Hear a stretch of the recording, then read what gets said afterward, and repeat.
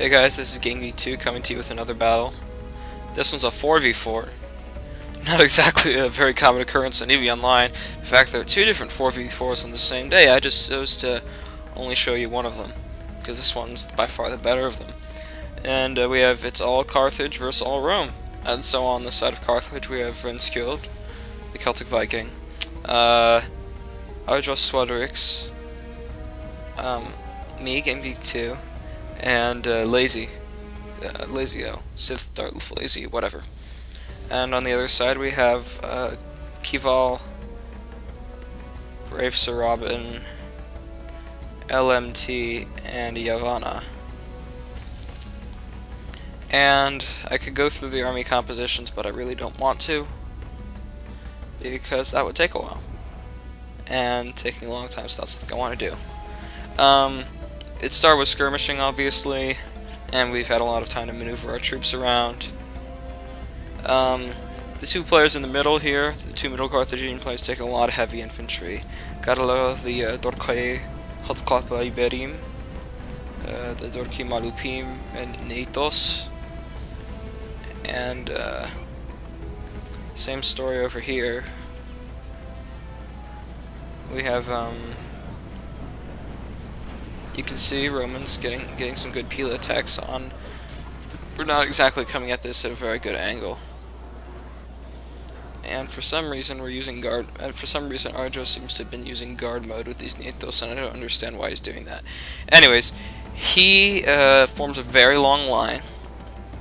And he, he covers LMT and Yavana with the same line.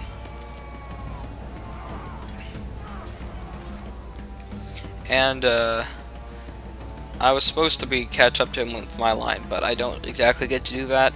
I don't really see the need to at the moment because Yavana's not being particularly aggressive with his reserve Triarii, so I decide just to, to march my troops into a flanking position. The engagement is beginning here in the middle, where the, but there's mainly just some skirmishing going on. Uh, as soon as the um, the Nietos were hit by the Pila volleys, not much else happened. Although you can see uh, some pretty severe whittling of the numbers by these velites. Anyways, you can also see the Romans getting the better of the missile fight over here. As the Celtic Viking keeps moving moves forward and then retreats his Dorkeat very and they get pestered by Roman javelins. Um,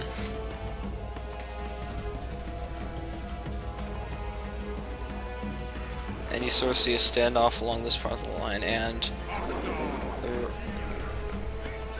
and the Carthaginians are getting their javelin volleys at them at the Romans now, and you see not good angling or aiming on the part of the Carthaginian player, uh, the Arjos, at getting volleys onto these Principes. He spends all the volleys of this one these units on the one Principe. Some all 27 of them, them are killed I think you could have done better with the full AP volleys of 4 units. Anyways, first blood is drawn here, besides the uh, mini skirmishes, not first blood, but you see Principes going up against Massaliotai Hoplitai, which is not something you see very often. And on this side you have a fight starting over here as the Sardinian infantry get caught up by the Romans. They're going to get routed quickly. Um, lazy uh, Renskiold is pouring many many volleys of javelins into these uh, these Kaitrati and the Hastati, trying to weaken them. And meanwhile the Iberian assaults keep taking a pounding from the Roman Pila, which is helping even out the fact that the Iberian assaults are much better than most of these infantry that the Romans have to bring. Before these Iberian Catrati can get off their armor-piercing javelin volleys, the Romans wisely rush in to the fight, and so the Catrati are forced to commit to melee. By our fair play rules, you're not supposed to throw javelins while you're in melee, unless you're like at the back of the melee or something. Anyways, a gigantic brawl, really nasty, disorganized brawl develops. You see just a glob of Roman troops chopping down. You see the first casualties of this of the Numidian skirmishers, which got caught up in the fight. They get routed pretty quickly. Uh, they get routed by these Roman cavalry. And you see all these uh, these light infantry, which deal a lot of damage with their javelins. Once they're caught in melee, they're not so well off.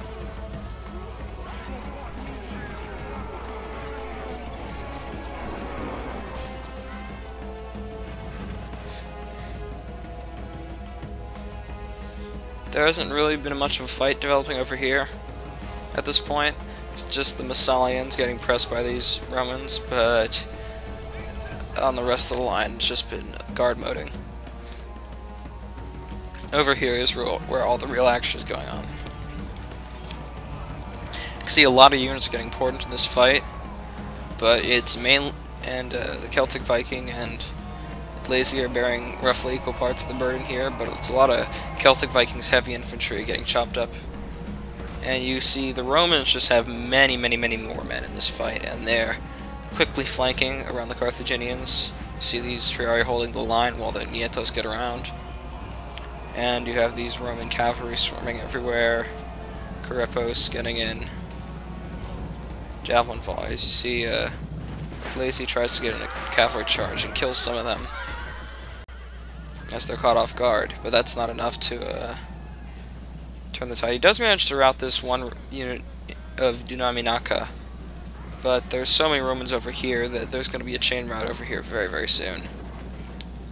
As soon as these uh, guys are all as soon as this unit gets all chewed up, the rest of these will fall in short succession. And you can see this battle, this side of the battle is really chaotic. This flank is about to get overrun and these Carthaginian cavalry haven't been able to effectively maneuver around because the Roman cavalry have done a pretty good job of controlling the space here. So the Carthaginian cavalry can't get on the back of this blob of Romans. I don't think they'd even do very much if they could, just because there's so many Romans, including these very resilient Triarii. Okay, you can see uh, there's one unit that's, that's a Sardinian infantry unit. Um, yeah. Over here, the fight has developed more. Um, well, really, it's just guard motors. There's barely any engagement. Uh, you see a couple guys stabbing here. And I'm marching my elite Africans into place to take on these Triarii. But the most important thing that's going on here is various missiles pouring into the back of these Triarii and Principes from uh, Lazy and I's numerous missile infantry that we have massed over here. You see all Lazy's, a lot of his missiles are just going around the flank. And you can look at like how this battle position sort of developed. There's sort of a big hook here, and there's a lot of Romans inside this portion of the battle. And you see, it looks like we might be able to encircle the Romans on that side, but on this side, looks you see we should come back just in time to watch the Carthaginians break over here against the massive oncoming Romans. No Cannae here, a deep Roman formation easily bowled through the Carthaginians here. And at this point, I began to sort of panic. I thought that the Carthaginians might very well come down our line quickly. There are, however, a lot of troops here, especially LazyO's numerous cavalries, I think eight cavalry units this battle, able to slow these guys up and there's some resilient a lot of resilient heavy troops here able to hold opponents off. For example, these Dunaminaka are able to repulse the Briantin, and these Nietos and uh, various Dorkahat Kape Baron are holding off. Although, I think Arjos makes a huge mistake here by putting these guys in guard mode, because these guys have a wide spacing, and so they're not su they're suited to getting around the enemy and flanking them. And you can see, uh, look at this big space of unengaged frontline troops. If these guys were attacking, they'd be engaging on the flanks of these Hastati Samnitiki, and of course killing a lot of them. Anyways, you see here, numbers have gone down a bit, but not by much. These Triarii are quite resilient. See on all fronts the Triarii being a very important component of the attack. They're uh, gutting into the Nietos line right here, for example. Over here, more guard mode fighting.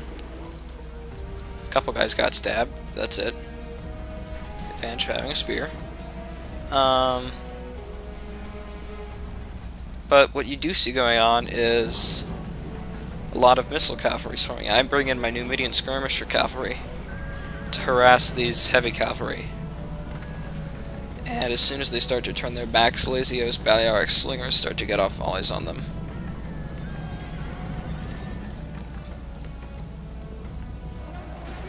And I don't follow up my pursuit as aggressively as I probably should, but I was afraid that these guys might just get cut down in quick succession by any sort of more cavalry coming back or maybe a skirmish malfunction.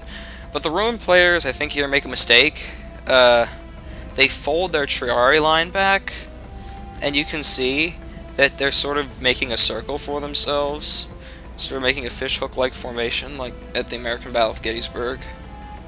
But in this case, they don't have a hill to stand on in order to defend themselves, like the like the Union Army did at Gettysburg. And they really are sort of the Union Army because they have more infantry. Um, you see me able to line up my elite African infantry quite well. I think I do get a javelin volley on the flanks of these Triarii here. It's an excellent area to attack. Another bad thing about this formation is Lazy can bring in his Balearic slingers and hit the back of these units which is devastating because Balearic Slingers have 4 missile attack.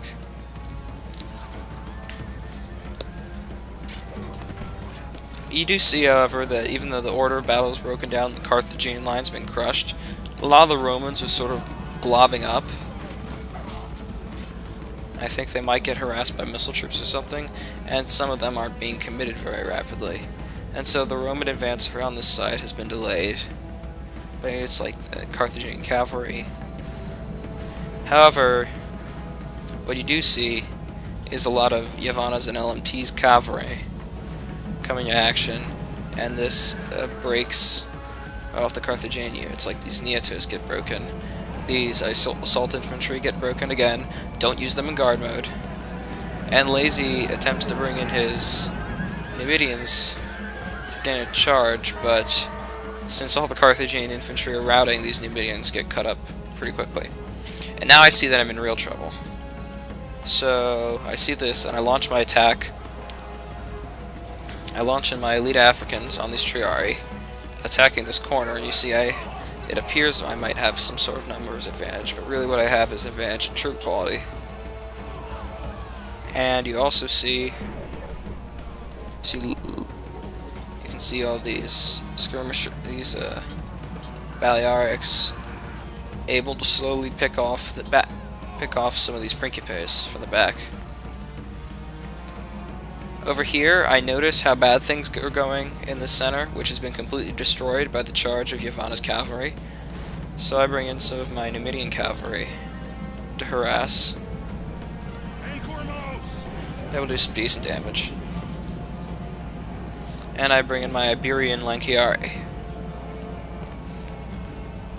You see, I have a lot of cavalry now. I don't really have a good angle to attack the opponents at. Especially because these guys are going to crack any second now. Now they're steady. Maybe they won't. What I do try to do is um,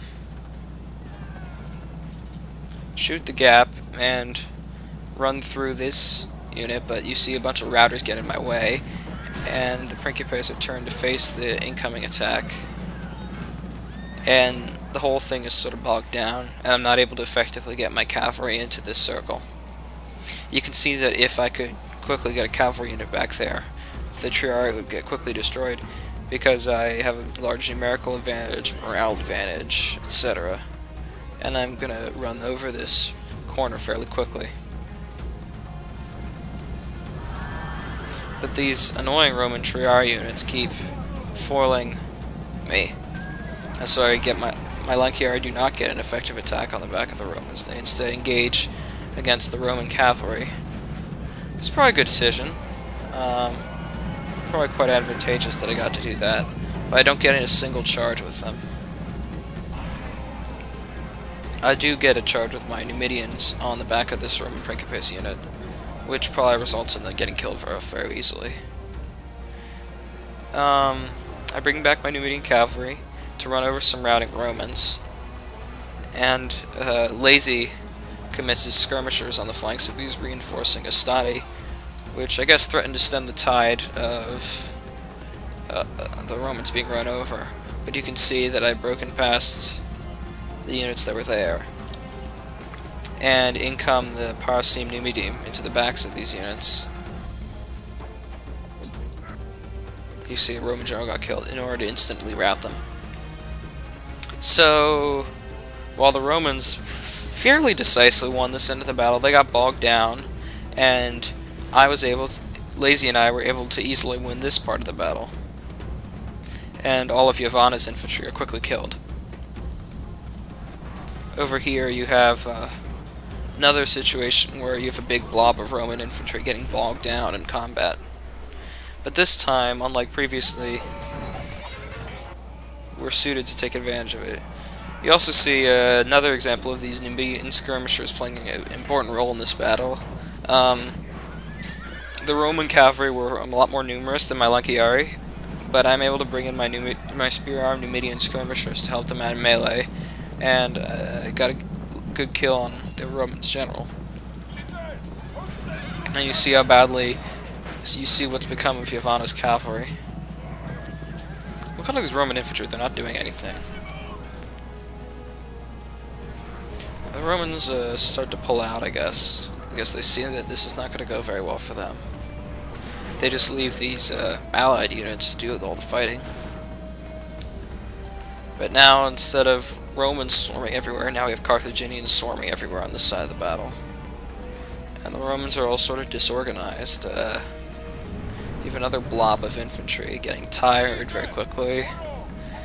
Um, they've cleaned up this side of all Lazy's various infantry units, but that's all they've done.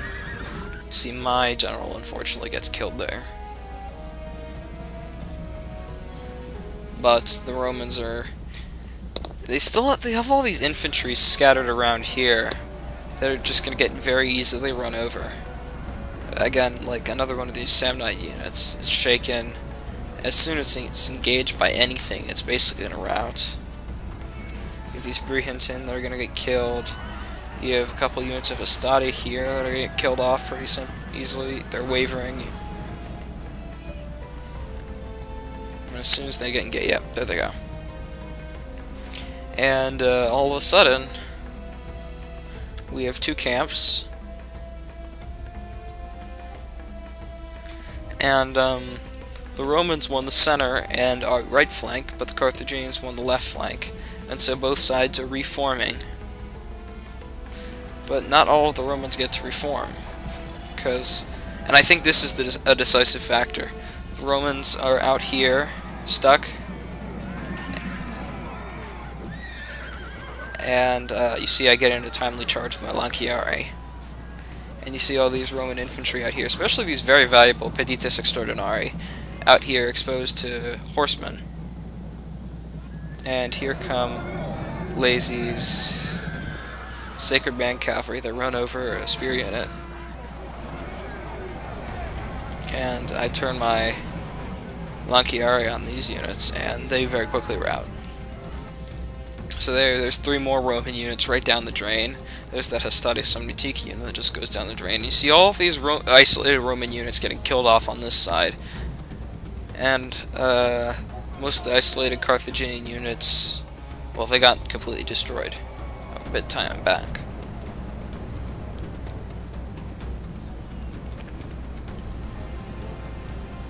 You could look at the composition of most of the remaining units. You see they're mostly Robin's units. You have some slingers from Yavana and some uh, infantry on this side from Kival, and a couple elites from LMT. So it's quite a mix of players left on this side. Whereas over here we have Arjos, we have a lot of units from Lazy, mainly light infantry, as all of Lazy's heavy infantry, or if he had any at all, got killed, but most of the infantry left is mine. If uh, all the Libyo-Phoenician heavies, and we have the elite Africans, they're all mine. They were the flanking troops, that's why they survived. You see uh, the Numidian skirmishers again proving their worth as they hold off Roman infantry for long enough for me to engage my heavy African troops. And my Balearic light infantry. These guys, highly recommended, they're very good.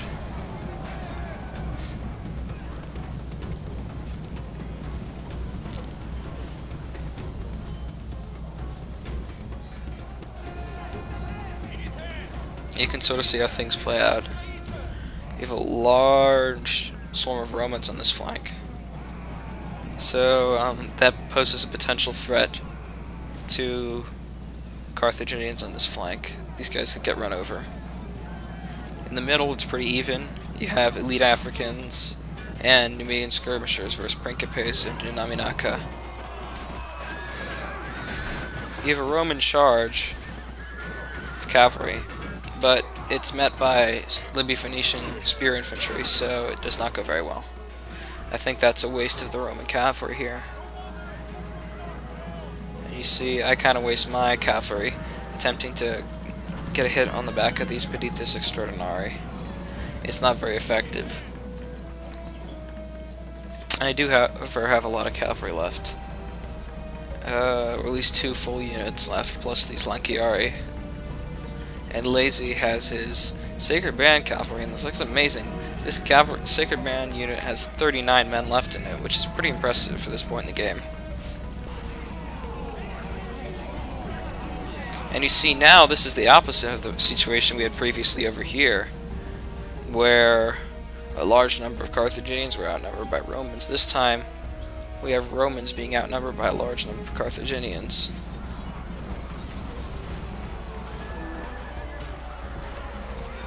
And you see a very thin line of Romans getting stabbed on both sides. On this side by Numidian cavalry, and on this side by um, Libyo-Phoenician infantry, and they're just getting killed off. Even though my cap, I guess my cavalry are all getting killed off too. But they, I think, kill off enough of the infantry if they kill that I think the Romans will break quickly. And say on the peripheries, on the flanks, there's some strength. You have these Principes, and on this side you have a large number of Triarii. But in the center, um, the Romans are very weak. And on this side, the Romans are especially weak as they're being... They, I mean, it's not even that the Carthaginians have a quality advantage, it's that we have a numbers advantage. And so we're able to just surround these guys and, through fear, get cause them to rout. And you see, because of all those routing guys, these Cretans are scared, and so they're about to rout. And here come the Sacred Band Cavalry in to kill off those guys. And as soon as those guys get killed, the Cretan archers rout as well.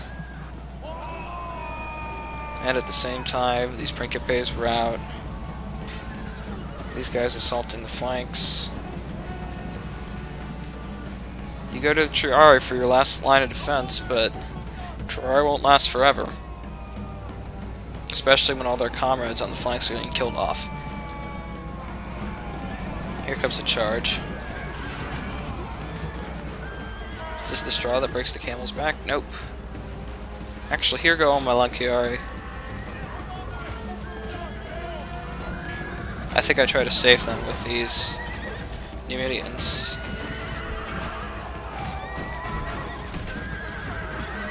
But it's too late.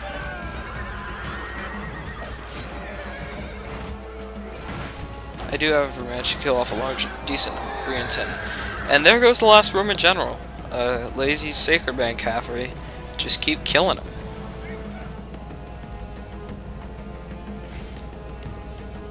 We can fast forward at this point. Again, the overwhelming numbers of Carthaginians are going to get through these Romans at some point. Whatever that point is. They also have better stamina, too.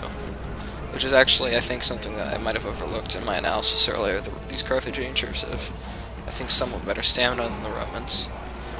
Hey, look at all these Romans starting to crack.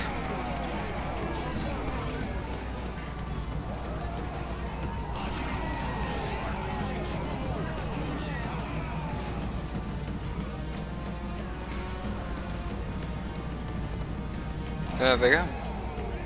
The Roman center is officially gone. And uh, for some reason, the Romans are retreating some of their units.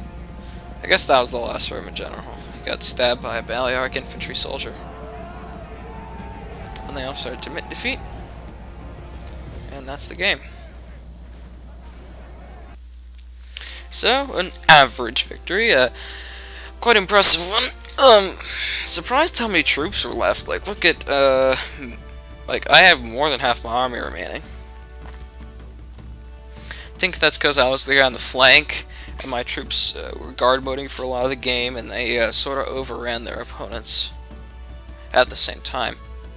Uh, but you can see a lot of kills came from cavalry, and all my infantry units got a respectable number of kills. Even the Balearic slingers, who weren't engaged at all, got 39 kills. Because the firing unit, firing missiles.